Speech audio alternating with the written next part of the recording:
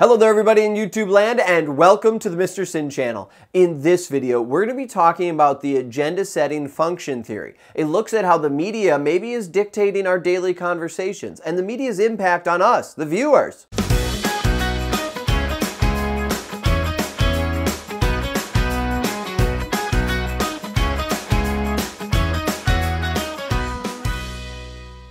This theory was developed in 1972 by Maxwell McCombs and Donald Shaw. They saw a connection between what voters found important and what the media was talking about. And this theory is a little bit different than other theories we've talked about on this channel before. This one isn't like the media has all the power and it tells us what to think and how to think about it and every aspect of it. No, this theory is more about the media not telling us what to think, but what to think about. Now, what that means is the media here, what they noticed was informing the daily conversation. It didn't tell people what to think on that particular issue, but it was telling people which issues to talk about. And that was the power of the media here. So the audience is listening. They're not necessarily fully passive, and the media does have some power here. In 1988, this theory was expanded to include a concept called framing. Framing is when the media is trying to get the viewer to follow a certain line of thought. They have an end goal in mind. They want the viewer to come to a certain conclusion. And so they present certain facts or omit certain facts to get the viewer to come to that conclusion. But the goal of framing isn't for the viewer to know it, it's for the viewer to come to it naturally, thinking they came to it themselves.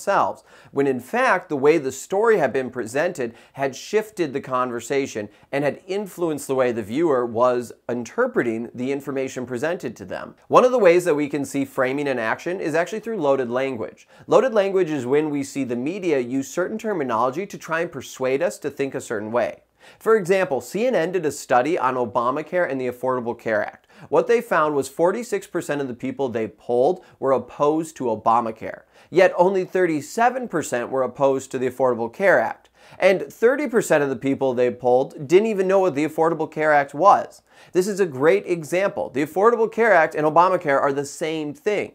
However, at the time, there was a lot of people that didn't like President Obama. And so the media, particularly more right-wing outlets, started calling it Obamacare. This then turned the conversation away from the Affordable Care Act and connected it to President Obama a lot of people, particularly voters who did not appreciate or like President Obama, automatically heard Obamacare and decided that they didn't like it, even though they didn't maybe know what it is. Other people too form their opinions in other ways. But this is one example of framing in loaded language and how it persuades the conversation.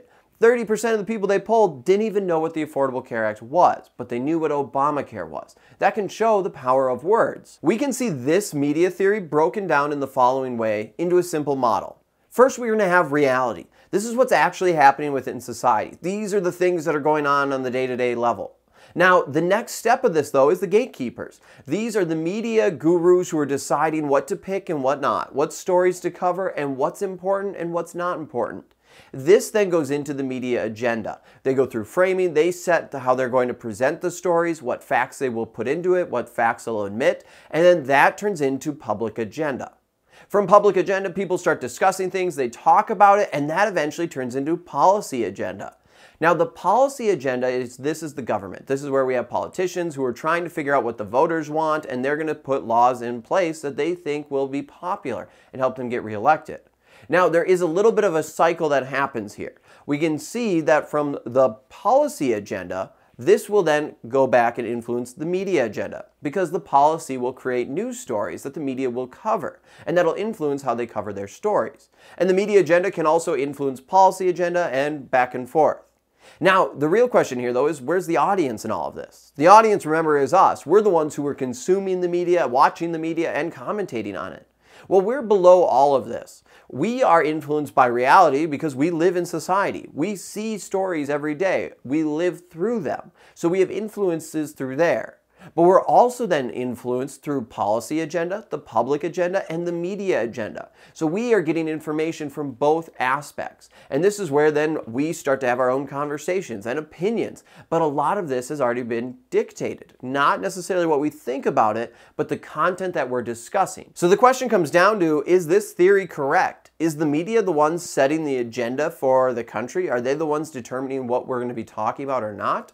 Or is it the politicians? Or is it us that has more of a say on it? Let me know in the comments down below what you think. Thank you very much for watching. Hopefully this video helped you better understand the agenda setting function theory. Make sure to check out some of my other media theories on the channel and some of the other sociology, human geography, and economic videos. I'm Mr. Sinn. Don't forget to subscribe, and until next time, I'll see you online.